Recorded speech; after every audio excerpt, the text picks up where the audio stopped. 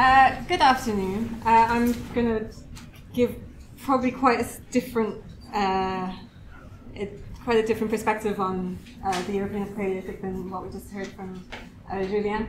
Um, I should probably give a little bit of personal history before I start because I did all my I did all my third level education in the UK, but the majority of work that I've done has actually been in Eastern Europe, and in the last two and a half years I've been based in France.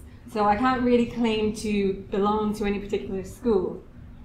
And what I want to present to you today is not actually particularly data heavy, but it's uh, to do with um, a particular theoretical approach and a particular methodology within that approach. Um, and what I want to talk to you about is typology, which I realize sometimes people say mean things about. It, you know, it really does have a bad name in the study of the Paleolithic. And I can understand why that is, because there's been a lot of really bad typology done in the Paleolithic. Um, I have absolutely no disagreement with that perspective. Um, and I think where it is acknowledged as having some value, it's often just seen as a precursor to applying other approaches. Um, but for me personally, uh, it has a lot of value as a, as a principal research approach, as a principal methodology, and I'm hoping in this in this uh, presentation to explain why I believe that. Um, typology is the study of types. Typology is not anything more or less than that. Um, it's it's not a it's not a prescriptive way of looking at the, the archaeological record. It's it's just a, a concentration on types of when we when we're talking about lithic typology, when it's the study of lithic uh, lithic tool lithic tool types, generally speaking, um, and they can tell us an awful lot. I don't think that lithic types are worth studying for their own sake. They're only worth studying because we have certain research questions that they can help us to answer. And the research question that I'm most interested in in my own work is uh, to do with how we build and rebuild, revise and criticize our chronocultural framework. So the cultural taxonomy that we use in the Upper Paleolithic, the, the, the units that we use to describe and analyze the archaeological record. Um, and this is a really important task, I think, for archaeologists. It's a really interesting thing to study. And lithic typology gives us a really useful way to do quite a lot of this work. Some people talk about technotypology. This is a word that, as far as I know, comes directly from the French uh, technotypology. And I suppose the, the increasing use of that, word, of that word is to emphasize the incorporation of technological information into our typological definitions and descriptions.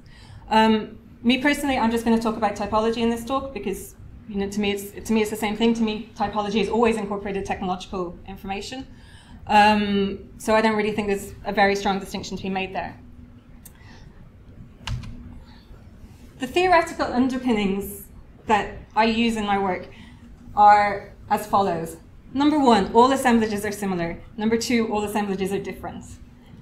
And I'm not just trying to be funny here. I think I think it's it's kind of important because if you compare any two assemblages from the Upper Paleolithic, you can find similarities between them, and you can also find differences.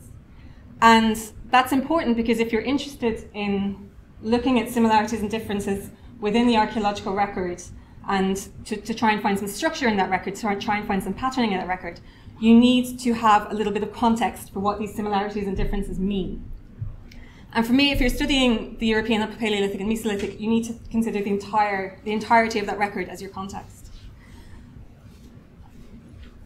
And so if you're looking for meaningful similarities, if you're looking for the similarities that actually tell you something about cultural similarities in the past, there are two criteria that, they, that those similarities need to fulfill. First of all, they should be restricted in space and time, and secondly, they should be coherent in space and time. And what I mean by that is that certain types we know occur over and over again in the Upper Paleolithic record. If you just take, for example, burins as a general category, they, the, the presence or absence of, of burins does not tell you very much about how similar two assemblages are in the Paleolithic. So what we are really interested in the, is the features that are restricted. Um, and so this, this goes straight away to the study of types. We're looking for types that are restricted in the archaeological record. So for example, Bechteperke on the other hand, are restricted. Their, their shared presence in numerous sites, you know, probably tells us something about uh, similarities between those sites. But we're also interested in geographically and temporally coherent features. And the reason for that is that we are looking for similarities that are the, the, the product of social processes, the product of cultural transmission between groups either through time or through space. So um, what we want is uh, groups of groups of assemblages that share a certain feature. If you find the same feature in two groups of sites or three groups of sites that are very distant, either in time or in space, we're probably looking at the product of convergence. Now, all of that I think is pretty. I think it's pretty safe. I think that's all pretty um, well accepted. I hope what I've said. But this then, this then is the, I suppose, the background that I'm using to come back to lithic typology. So for me, there are three stages to doing lithic typology, to studying these types in the archaeological record. First of all, you want to identify the types that fulfill those criteria that I just talked about. Then you want to try and work out a definition of those types that is clear, and I mean extremely clear, but also minimal, so that it, it does enough work to define that type, to do the work that you wanted to do, to um, find similarities in the archaeological record, and no more. And then third, you want to describe those types. You want to consider the variation that you find uh, within them. And obviously there's a little bit of back and forth that you can get between definition and description, because as you find more, as you find more lithics that um, conform to your definition, you might find that the variation is not quite as you originally seemed. You can go back to it. Now, the definitions of types can include morphological, dimensional, and technological information. So that's the information about the lithics themselves. But they can also include temporal and ge geographical information. So what I mean by that is that this is to get around that problem of, of convergence that I talked about before. So if you have two groups of lithics that you think are not actually connected culturally, um, but which in fact can be described using exactly the same definition. You want to include temporal and geographical information in order to separate them in the archaeological record. Why lithic typology? Because it facilitates large scale comparisons. So I work in Central and Eastern Europe mainly, and there's an awful lot of work to be done out there in terms of getting our heads around the um, taxonomy of the sites, the taxonomy of the assemblages. Um, and if I were to go around and try and apply a detailed technological analysis to every single one of those sites, I would never finish my PhD. So this is, I think, the, the real power of lithic typology that you can, you can start to get a first approximation of this chronocultural framework very quickly. I'm also going to assert that there is no a priori reason why it should be less informative than purely technological approaches. There are a few other aspects of the type of archaeology that I've mainly worked on that are um, particularly um, relevant to why I think typology is, has been the most appropriate method to use. Um, so first of all, it allows for work on old collections, where often the debitage is nowhere to be seen if it was ever properly excavated and recorded in the first place. And also because in many of the regions where I work, there are very strong differences in raw material availability that really stymies technological approaches. So if you have one site where people were using river cobbles to knap, and you have another site, you know, 50 kilometers away where people were using um, beautiful nodules of flint to, to knap, it, it's very difficult to do a fair typological, uh, fair technological comparison of them. But typological approaches can still help you to see some of the similarities that are there. Now, I want to give two examples of why, of, of, of, of how I think um, this typological approach helps to build a chronocultural framework, helps to get insights into the archaeological record. The first one is to do with um, these, this very recently defined index fossil called éléments bitronqués or Late Gravettian rectangles. Um, it was defined twice in the space of um, one year in two different um, articles. And these, art, these artifacts are found at sites across Central and Eastern Europe, dating to um, sort of the middle of the Mid Upper Paleolithic. And they're very, very distinctive, um, a very, very distinctive group of artifacts. Um, very rectilinear backed bladelets with inverse retouch to both ends, um, either rectangular or rounded ends, and mostly quite small.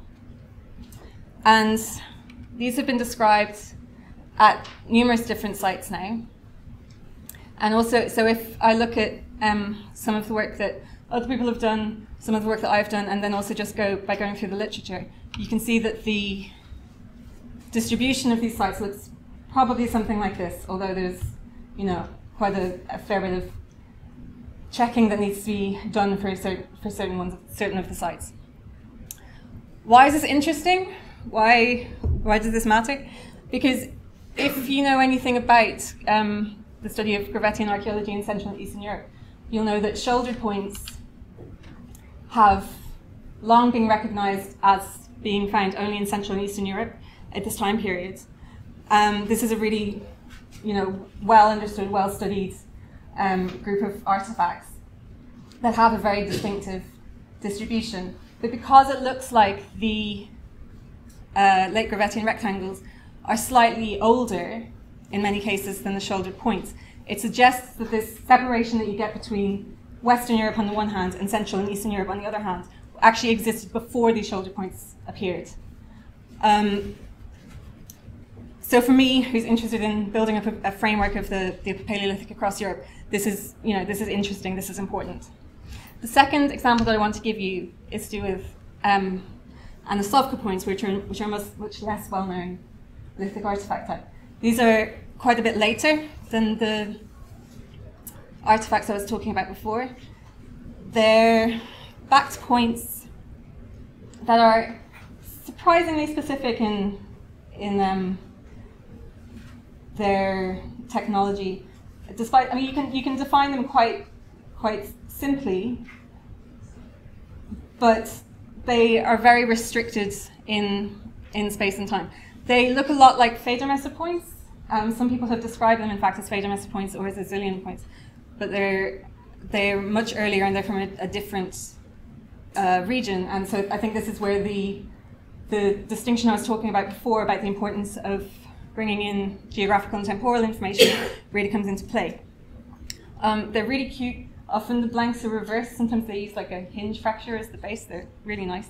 Um, and they're found in a much smaller area than the than the rectangles or the shoulder points that I was just talking about.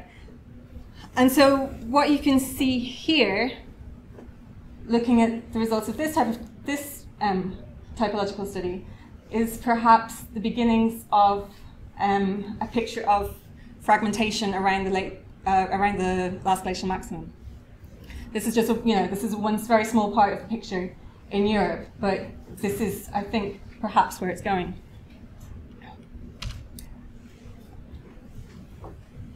So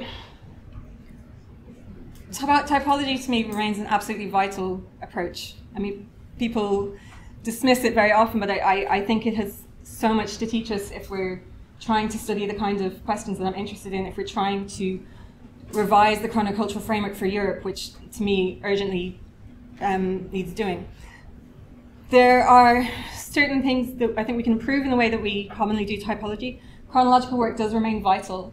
Getting decent um, dates on any of these sites is very important so that we can, you know, get some uh, a strong basis for the comparisons that we're making. I think the definitions that we use typologically, they, they need to be so clear, they need to be so explicit. There shouldn't be too much room for interpretation as to whether or not a, an artifact belongs to a type or not. Um, beyond that, we need fuller description. We need all sorts of numbers, percentages, all different ways that we can think of of describing these these types, the, the artifacts themselves, the specific artifacts, um, morphologically and technologically with illustration, there are so many different methods that are available to us. We need to be taking advantage of all of them.